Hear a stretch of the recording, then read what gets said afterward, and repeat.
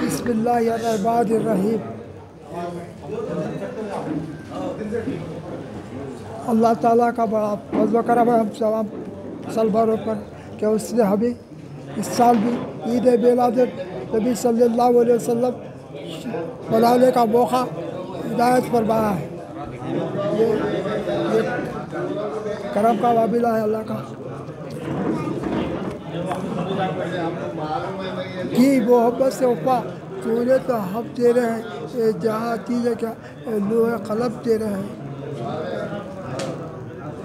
अल्लाह इकबाल का ये शेर है, इसकी अजमत को जो बहुत से लोग समझ सकते हैं कि आज हम सरकार की शाद में अपने से जितना भी हो सके उनके यूब विलादत के दिन हर तरीक़े से अच्छे से अच्छे अंदाज में सर सर सरजमीन है।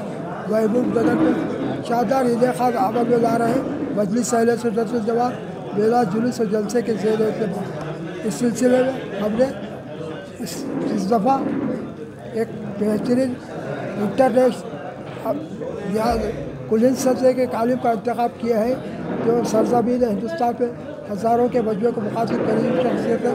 उससे पहले हमारी दावत पर हमारे पास मुखातिब किए थे। मौलाना खार मौलाना खार अशरफ जुदेदी साहब की शरीफ में मुखिर है बेहतरीन मुकर है।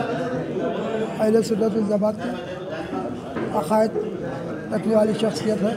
उनका हम इंतखब की किया है, वो हमारी दावत को कबूल किया है लब्बे दावत कबूल किया उनका जवाब भी आ चुका है व्हाट्सएप पर मेरे पास महफूज है।